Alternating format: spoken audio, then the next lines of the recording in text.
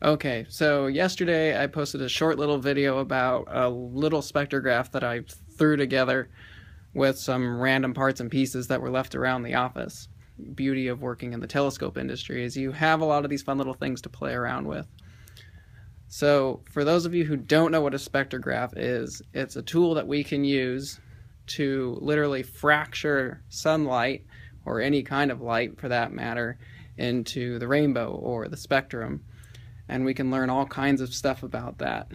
Now, originally in the 17th century, Isaac Newton was the one who found the spectrum originally, and then from there, other people started to study it more. So today, I'll take you just a little walkthrough about all that's going on here, and it's kind of cool. So first off is the heliostat, and a heliostat is just a tiny little flat mirror that literally tracks the sun and reflects it to wherever you want to go.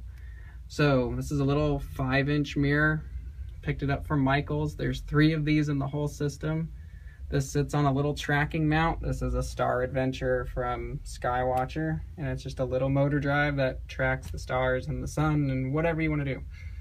So that relays the light back to the second mirror, which is the same kind of mirror as the one before and that reflects the light into this little slit down in here. Now yesterday that was made out of business cards, today we upped it to razor blades, which give you a thinner, better outcome. Now on the heart of that, behind there is this little prism. You can pick these up for about 10 bucks.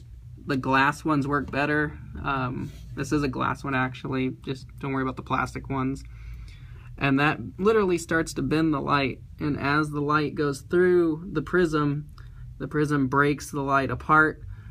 And you get you know our rainbow which you can see right there.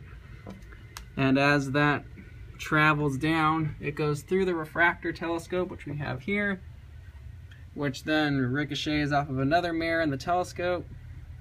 And the eyepiece then projects the prism just up on the wall there now if you look closely, right in here, you can see what we call Fraunhofer lines or absorption lines.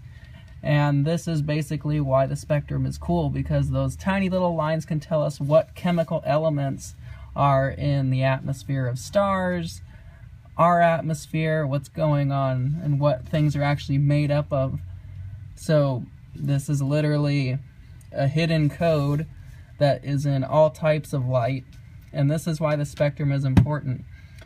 So I guess the cool thing about this would be there's all kinds of things and familiar things out there, but until you look at it in a different way, you don't really know what you're missing. So in this case, we have a whole code hidden away in the typical sunlight that we would normally see. So pretty cool.